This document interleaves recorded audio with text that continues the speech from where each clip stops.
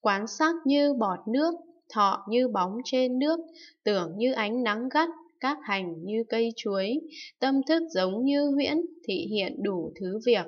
Biết các uẩn như vậy, bậc trí không chấp trước, các xứ đều không tịch, như máy móc chuyển động, các giới tánh vĩnh lìa, vọng hiện nơi thế gian, Bồ Tát trụ chân thật, tịch diệt đệ nhất nghĩa, đủ thứ rộng tuyên dương, mà tâm không chỗ nương, không đến cũng không đi, cũng lại không có trụ, phiền não nghiệp nhân khổ, ba thứ luôn lưu truyền, tuyệt khởi chẳng có không, chẳng thật cũng chẳng hư, như vậy vào trung đạo, nói mà không chấp trước, hay ở trong một niệm, hiện khắp tâm ba đời, dục sắc vô sắc giới, tất cả đủ thứ việc,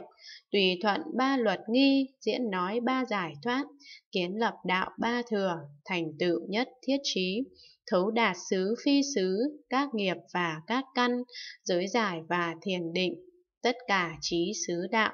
túc mạng niệm thiên nhãn, diệt trừ tất cả hoặc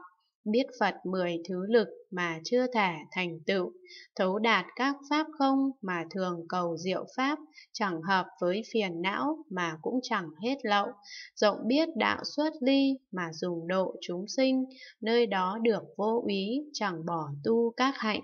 không lầm không trái đạo, cũng chẳng mất chánh niệm, tinh tấn được tam muội, quán huệ không tồn giảm, ba tụ đều thanh tịnh, ba đời đều thấu đạt, đại từ thương chúng sinh, tất cả không chướng ngại. Do vào pháp môn này được thành hạnh như vậy, tôi chỉ nói ít phần công đức nghĩa trang nghiêm.